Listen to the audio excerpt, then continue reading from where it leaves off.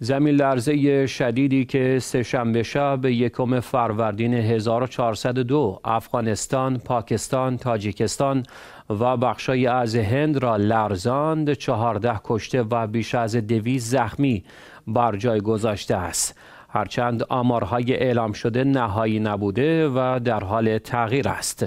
منابع از جان باختن چهار تن و زخمی شدن نزدیک به 50 نفر در استانهای شرقی افغانستان خبر دادند. گفته می شود در استانهای پنجشیر، لغمان و تخار افغانستان علاوه بر تلفات جانی دهها منزل مسکونی نیز تخریب شده است. در پاکستان هم تا کنون جان باختن ده نفر و زخمی شدن 160 تن دیگر تایید شده است.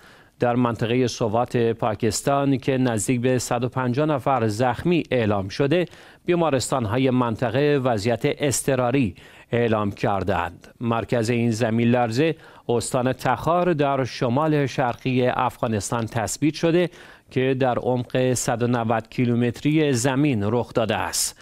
در ساعت نخستین این زمین لرزه قدرت آن هفت و هفت دهم ریشتر گزارش شده بود اما مرکز لرزه نگاری جهانی اکنون اعلام کرده که قدرت این زمین لرزه 6 و 8 دهم ریشتر بوده و سی ثانیه دوام داشته است.